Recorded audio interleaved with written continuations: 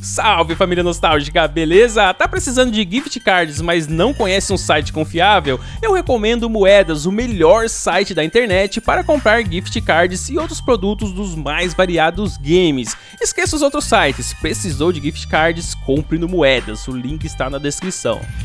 Salve família nostálgica, beleza? Cada personagem de um jogo de videogame tem alguma habilidade ou algum poder e com certeza os mais fortes de todos são os que têm poder psíquico. Personagens psíquicos podem fazer praticamente qualquer coisa e geralmente são os vencedores numa batalha. E para o vídeo de hoje eu escolhi 7 personagens psíquicos muito poderosos dos games. Esses que eu vou citar são os meus favoritos e com certeza são muito fortes. Mas se você não concordar ou achar que faltou algum nessa lista, pode comentar aí também beleza? Bora lá! A série The King of Fighters já possui vários personagens com poderes psíquicos, mas para o vídeo de hoje eu escolhi o K-49. Esse lutador possui inúmeros poderes psíquicos diferentes e todos incrivelmente fortes. No entanto, um de seus destaques é o ataque How About the Moon, que gera uma incrível barreira ao seu redor. Isso não apenas interrompe todos os ataques recebidos, mas também rebate o ataque com uma força bem maior. Se o personagem apanha, o oponente também apanha. Como tal, o poder psíquico de K-49 é capaz de se defender enquanto causa dano pesado no seu oponente. Claro que existem outros personagens psíquicos muito bons na série KOF, mas o K-49 é o meu favorito.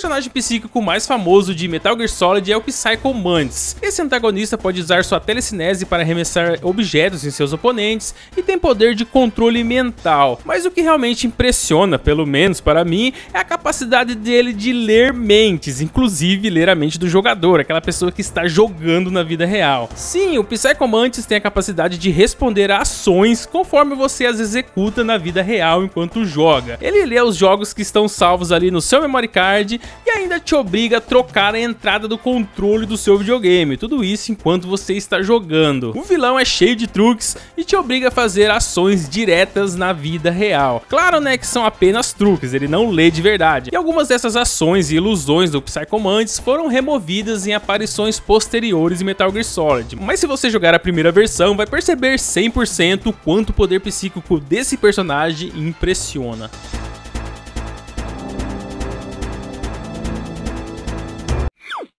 O requisito mínimo para entrar na lista desse vídeo era o personagem ter um incrível poder psíquico, mas e quando o personagem é tão poderoso que está até perdendo o controle dos seus poderes? Aí é garantido aqui no Nostalgia dos Games, né? Isso acontece com Ryan, do jogo Galerians, lançado para Playstation no ano 2000. Esse cara aqui tem um poder psíquico muito forte. Durante a trama, o protagonista está fazendo o possível para manter os seus poderes sob controle, mas toda vez que ele fica com muita raiva, as coisas começam a ficar feias. Quando Rion perde o controle, ele entra num estado descontrolado e todos ao seu redor correm perigo imediato. Seus poderes psíquicos são tão fortes que sobrecarregam até a mente de qualquer pessoa ali que estiver à sua vista, mesmo contra sua vontade. Ele não quer fazer isso e acaba afetando todo mundo. Independente se é amigo ou inimigo, Ryan Steiner do jogo Galerians tem um poder psíquico tão forte que pode afetar a todos à sua volta, mesmo contra sua própria vontade.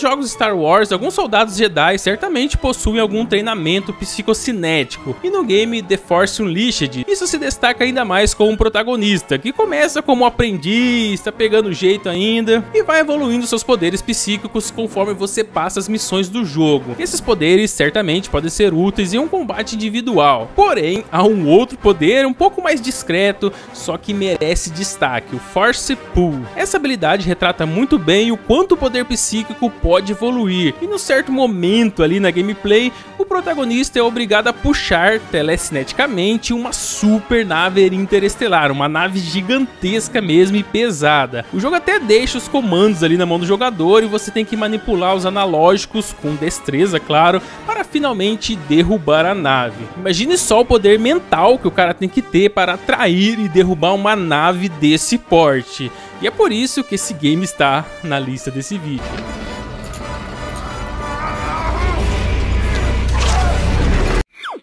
O grande vilão de Street Fighter, conhecido como Bison, Bison ou simplesmente Bison, tem uma variedade de poderes psíquicos incrivelmente poderosos. Ele utiliza, por exemplo, o Psycho Power, que é uma forma de energia psíquica que se alimenta das emoções negativas das pessoas. Bison também usa sua energia psíquica para realizar uma grande variedade de ataques, desde fogo psíquico até teletransporte. No entanto, seu uso mais poderoso é o Final Psycho Crusher. Esse aqui é de matar. O Psycho Crusher de Bison usa sua energia psíquica para impulsionar seu corpo por uma grande distância através do ar, ou seja, ou seja, esse poder faz ele voar, só que com muita força. No entanto, quando ele usa a versão final desse ataque, com toda a energia possível, o vilão executa com uma quantidade tão grande dessa energia psíquica que distorce tudo ao seu redor, pulverizando tudo que estiver em seu rastro. Essa técnica psíquica é devastadora e poderosa. O inimigo, tudo que estiver no seu caminho, vai ser destruído, reduzido a poeira. Não é à toa, né, que o Bison é o chefão de Street Fighter. Ele tem um poder psíquico imenso.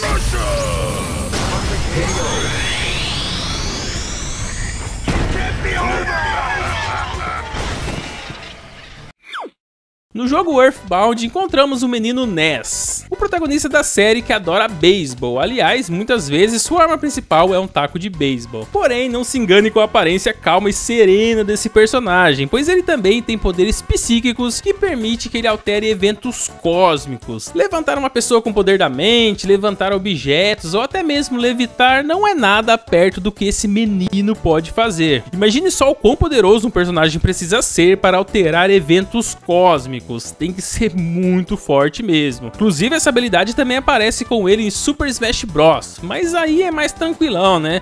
Ele só usa uma pequena porcentagem do seu poder, que envia projéteis lá do espaço, né, do cosmo, em direção aos inimigos, o que já é muita coisa, mas só um dia normal no enredo do personagem Ness dos jogos Earthbound.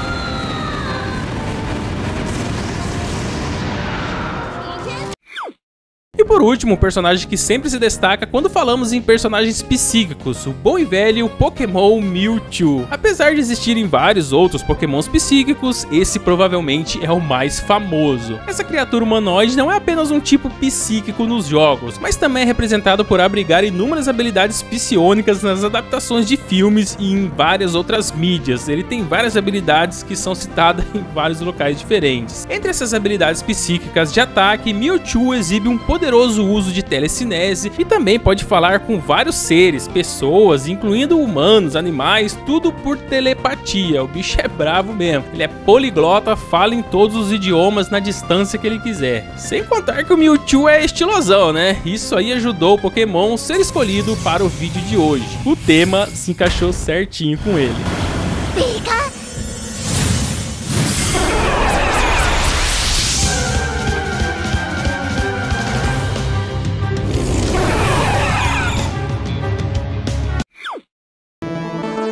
É, então é isso família, nesse vídeo eu citei alguns personagens psíquicos muito poderosos dos games. Eu sei que existem muito mais outros assim, mas eu fosse personagens favoritos, né, que eu quis colocar nesse vídeo. Mas e você, que personagem você adicionaria nessa lista? Aproveita, já comenta aí embaixo, seu comentário também ajuda demais no nostalgia dos games. Não se esqueça do like, se inscreva no canal se caiu aqui de paraquedas, pois tem vídeos sempre às 6 da tarde. E quer ajudar demais o canal? Pode ser membro aí, apenas R$ 2,99 por mês, mas se você não pode pagar seu membro, membro, faça o seu cadastro no Moedas. É só clicar aí no primeiro link da descrição. É tão bom quanto ser membro aqui do canal. Então faça o cadastro pelo meu link, é o nosso patrocinador Moedas. Vai ajudar demais o Nostalgia dos Games. Clica lá, faça seu cadastro rapidinho, vai estar me ajudando e muito, beleza?